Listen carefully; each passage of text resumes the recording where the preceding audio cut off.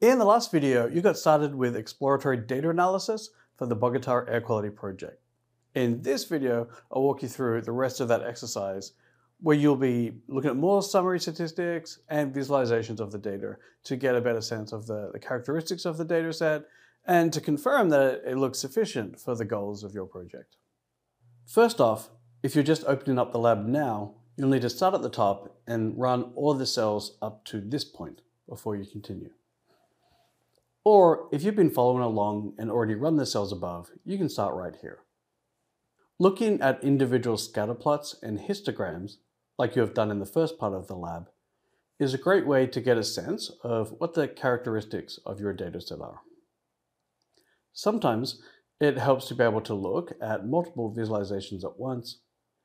And when you run this next cell, you'll get scatter plots across all the possible combinations of one pollutant to another, as well as histograms showing the distribution of each individual pollutant. So what you have here is a grid of different plots, where each pollutant in your dataset is listed along the horizontal and vertical axis of the grid. In each grid cell, you are looking at a scatter plot of the pollutant listed on the horizontal axis for that cell against the pollutant listed on the vertical axis. And then along the diagonal here, you just have the histogram of each individual pollutant, since in this cell, the variable listed on the vertical and horizontal axes are the same.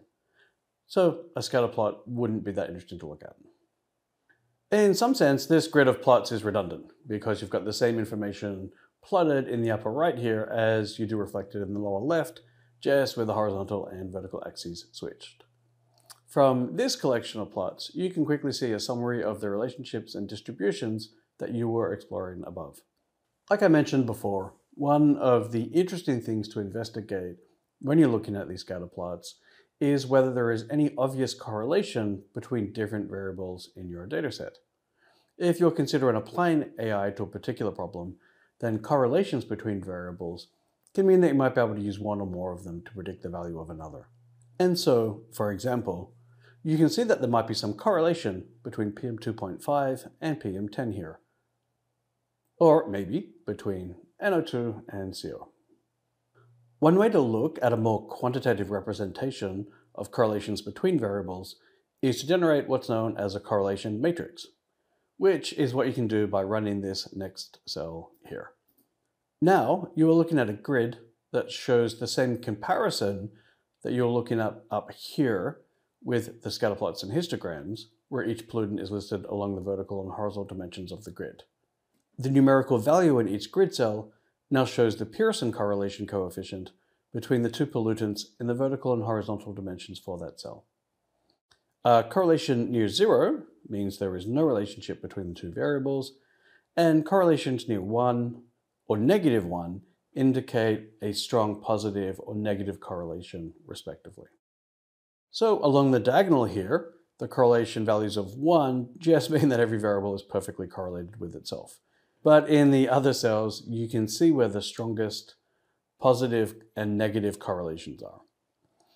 In some sense, this grid of values is also redundant because you have the mirror image along the diagonal. But what you can do now with this result is to take a closer look at which pollutants are correlated with each other. Like, for example, you can see a significant positive correlation between NO2 and CO. You can also see that particulate matter of different sizes are strongly correlated.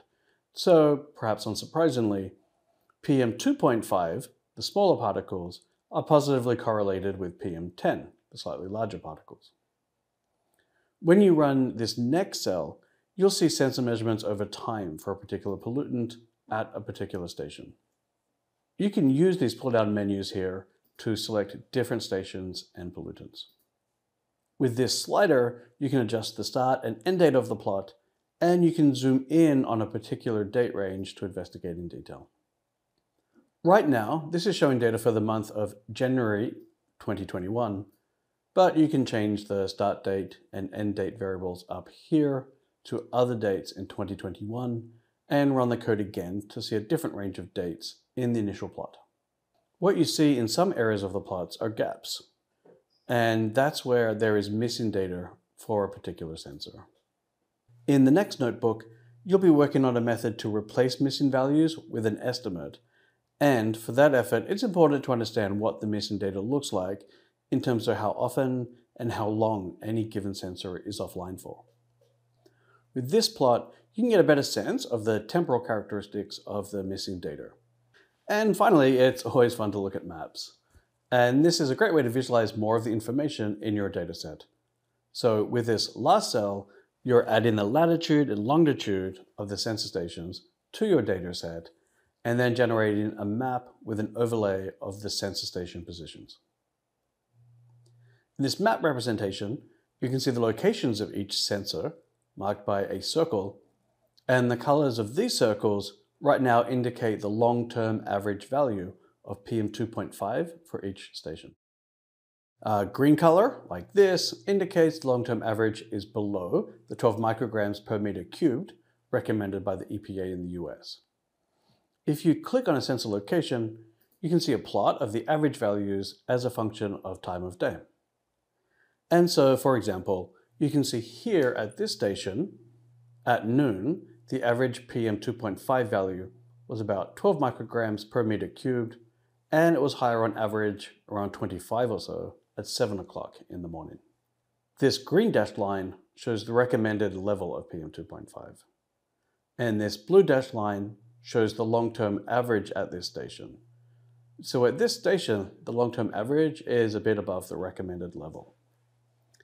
Each of the individual data points here shows the average at this station for a particular time of day, averaged over the whole year.